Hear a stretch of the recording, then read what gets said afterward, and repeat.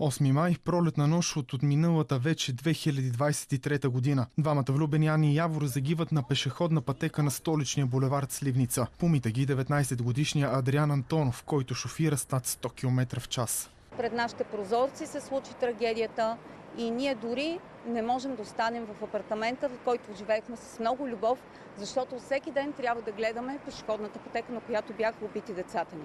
В тази държава семейството остана последния бастион. Институциите са абдикирали от всякъде. Изобщо чувството за ненаказаност и за несправедливост витая навсякъде.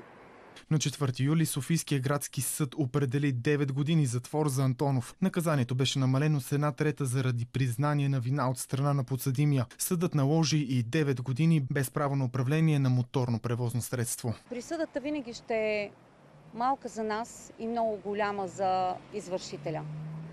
Ние тук не говорим за това дали 6 или 10 години ще бъдат а, достатъчни. Те никога няма да са достатъчни. Няма присъда, която да замени човешкия живот.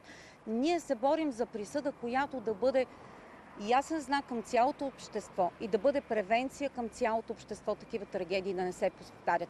И най-вече се обръщам към хората, от които зависи тази промяна в държавата, хората облечени във власт, да обърнат внимание на думите ми, защото утре техните деца и внуци ще минат дали по тази или друга пътека. Според експерти, само справедливото наказание ще помогне да няма други разрушени семейства.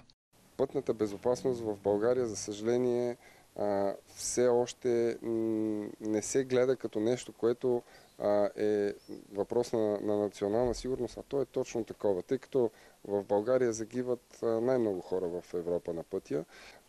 Много сериозно да се обърне внимание на превенцията, която все още смея да твърдя е най-слабото звено в пътната безопасност. Организаторите на протеста апелират към обществото и институциите за отговорност на пътя и повишаване на безопасността.